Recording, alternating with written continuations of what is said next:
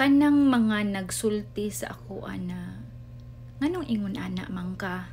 Nganong dali man kay ka maka-cut off og mga tao sa imong kinabuhi? Ang ako ang matubag ra gyud no is that dili man ako ang gusto na i-cut off sila sa akong life. Sila man ang gusto ana. Sila ang nagbuhat og rason na nganong ako a silang gibawalan og enter og balik sa akong kinabuhi ako manggod ang klase sa tao na musabot ko sa imuha. Taman sa ginhawa, kaya kay na kong musabot sa imuha.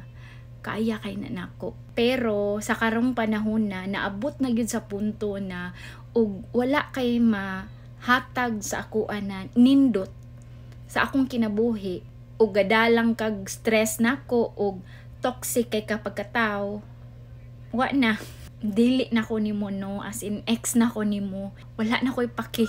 Hindi nagyug ko maski unsa pa ka sa akong kinabuhi gikapoy na ko. Like nabot na gyud punto na gikapoy na ko og please og people gikapoy na ko hatag og respeto sa sa tao na dili angay hatagan.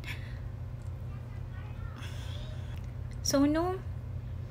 Kita ra makahatag og peace of mind kita lagi makatabang sa atong kaugalingon